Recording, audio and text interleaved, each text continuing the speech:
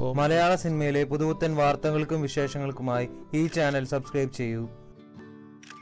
Bell icon അമർത്തി ഏറ്റവും പുതിയ വാർത്തകൾ ആദ്യമേ തന്നെ അറിയൂ. ദുൽഖറിന്റെ തെലുങ്കിലേക്കുള്ള അരങ്ങേറ്റ ചിത്രമായ മഹാനടി കളക്ഷൻ റെക്കോർഡുകൾ തിരുത്തിക്കുറിച്ചുകൊണ്ട് മുന്നേറുകയാണ്. ചിത്രത്തിന്റെ തമിഴ് പതിപ്പായ നടികേർ തിലകം കഴിഞ്ഞ ദിവസം തമിഴ്നാട്ടിൽ റിലീസായിരുന്നു. തമിഴ് പതിപ്പിന്റെ പ്രചാരണത്തിനായി മഹാനടിയുടെ അണിയറ പ്രവർത്തകർ തമിഴ് സിനിമാ ലോകത്തെ പ്രമുഖർക്കായി ഒരു സ്പെഷ്യൽ ഷോ നടത്തിയിരുന്നു. ഇളയദളപതി വിജയിയായിരുന്നു മുഖ്യാതിഥി.